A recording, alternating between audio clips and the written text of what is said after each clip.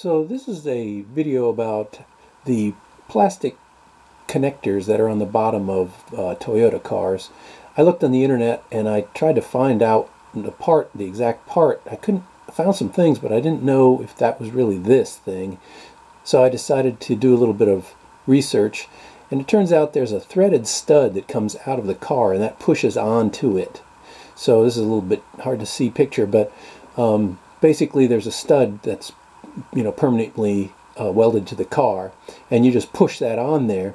But to get it off, you you uh, basically twist it off because it's a threaded stud. And this is what a little video I found on the internet, but there is a little cut there, so it made me a little bit concerned. But the solution is just keep on turning it and pulling, and it's threaded. It should come off. I've only done the one, so um, but I did pull it off just to look at it. So here's what it looks like.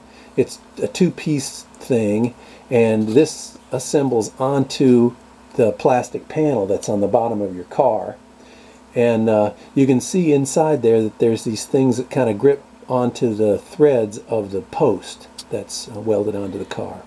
So uh, this thing normally isn't taken apart. Usually the white and the black part are stuck together um, and it clips on like this but I took it off just to see how it worked and show you how it worked so normally you you'd put this black thing through the hole in the plastic panel and then click this thing on the back, or that's what they do in the manufacturer.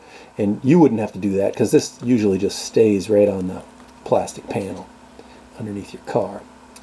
So uh, yeah, so that's that's kind of how it works. Um, I didn't really try to find the part number on here, but here's me putting putting that back onto the car. Um, normally, of course, you wouldn't have to do this, like I said, just normally that would stay on that splash panel. And it just this clip in just like we saw in the video just moments ago on my desktop.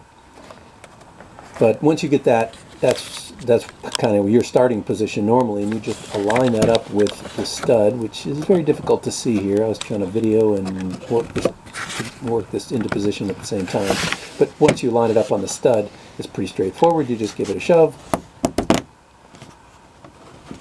and that's it. So you're uh, you're you're all set.